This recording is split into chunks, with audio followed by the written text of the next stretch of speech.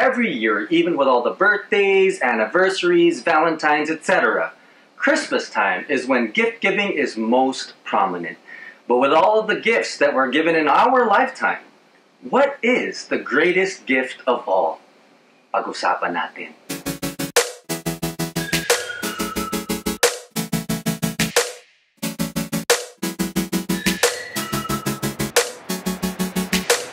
Every Christmas, nagkakaroon tayo ng focus on what gift we give and what gift we receive.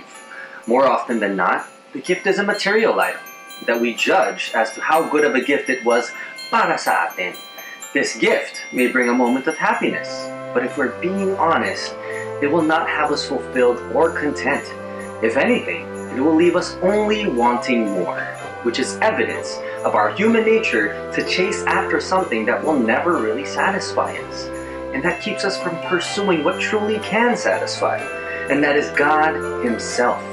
The Bible tells us that our lives are not about the abundance of things which we possess, and that we are to seek first the kingdom of God and His righteousness. With that said, ano nga ba ang greatest gift na pwede ma-receive ng tao?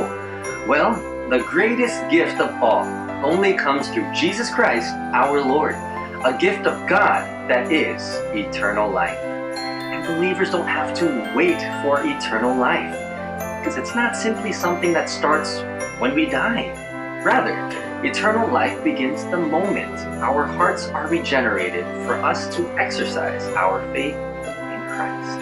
The greatest gift is already our current possession a gift of life that is eternal, indicating it goes on and on and on with no end, truly making it the epitome of a gift that keeps on giving. Merry Christmas. This Christmas, people are more open to talk about Jesus. If you'd like to see more gospel content, please like us on Facebook, follow us on Instagram, and subscribe to our YouTube channel. Let's, live life on mission.